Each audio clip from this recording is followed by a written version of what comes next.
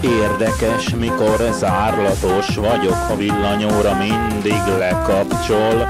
Ha nem látok semmit, és esek egy nagyot, hát nem tudom a villanyt felkapcsolni. Ám bizony, mikor lesz már villanyom, felkapcsolom én egy perc alatt.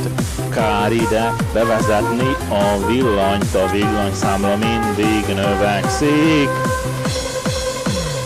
Adjál kölcsön generátort holnapig, megkeresem azt a fázist, hol lakik, összeköti vezeték a házamat, valaki megszereli a villanyórám, ablakomba villanydobot szerelek, ha nem szerelsz, megszerellek én téged, de megkeresem azt a fázist, hol lakik, hát adjál kölcsön generátort holnapig.